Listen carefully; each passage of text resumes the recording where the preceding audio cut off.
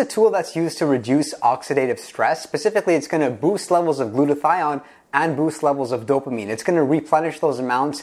And where it really comes in neat as a nootropic is its ability to help you fight fatigue and just concentrate on a task for a longer period of time. For myself, what really intrigued me about the specific nootropic is that it is a common ingredient in most pre-workout products these days. I'm somebody that is naturally lazy when it comes to fitness and going to the gym. Therefore, I take a pre-workout pretty much every time. And if you're unfamiliar with it, a pre-workout supplement has caffeine, L-tyrosine, which allow you to have a better workout to put out more reps and have an improved aerobic capacity. And I'm beginning to see N-acetyl-L-cysteine being a very popular ingredient amongst the other ones. This was one of the reasons why I decided to try it again, as I did a cycle a few years ago and it was not effective. I didn't notice anything whatsoever. However, it was because I dosed it incorrectly. Now that I've dosed it around 500 milligrams twice per day, I'm seeing all the benefits for improved concentration, improved mood. It almost fights depression to some extent. A reduction of addictive behaviors. I'm somebody that unfortunately bites my nails or I like to pick my skin.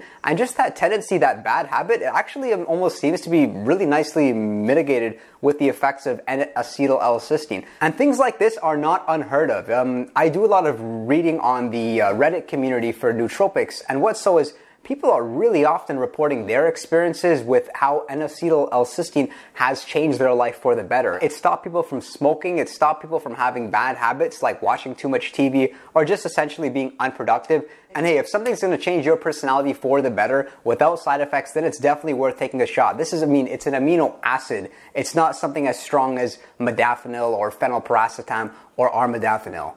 What's really fascinating about this nootropic is that people seem to all use it for a different type of purpose. There's things that can help you with concentration, there's things that can help you with your mood.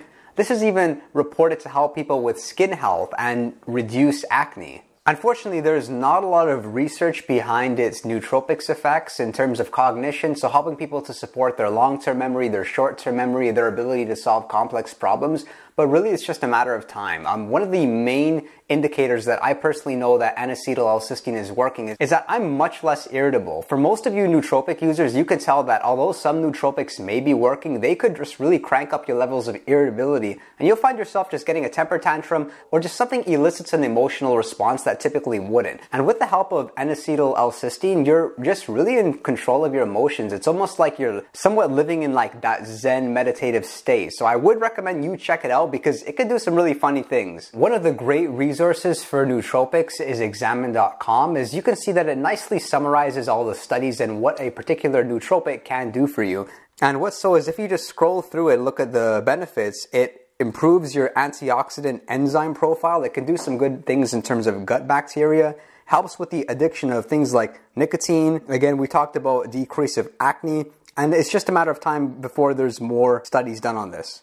Whether you're a student, you're an entrepreneur, you're a project manager, or maybe even like a salesperson, N-acetyl-L-cysteine is definitely worth trying and checking out. It'll just allow you to accomplish your goals quicker and just to enjoy the process. Unfortunately, I made the mistake of underdosing it. The first cycle which I took it for, which I did make a video on on my other channel, I was underdosing it, which was why I didn't feel anything from it. But now it's such that it's a staple in my stack. I'm pretty much taking it at least five times per week. Uh, my preferred dosage is 400 to 500 milligrams twice per day, once maybe in the early afternoon and then once in the late afternoon, early evening. Uh, with nootropics, unfortunately, you just have to find out what's best for you. When it comes to adaptogens, so things like ashwagandha, bacopa, rhodiola, they pretty much work the same with everyone, but when it comes to things that can enhance your focus naturally, like piracetam, aniracetam, pramiracetam, oxiracetam, Noopept, NSI 189, and so forth, they just seem to work differently for different people. One person may feel a little bit more focus, a little bit more energy, but another person may unfortunately experience brain fog. And if you were to ask me what some of the side effects are, the only thing which comes to mind is that you really have to know what dose works with you. This is one of those supplements where you have to be accurate with it. You have to find that sweet spot because what's so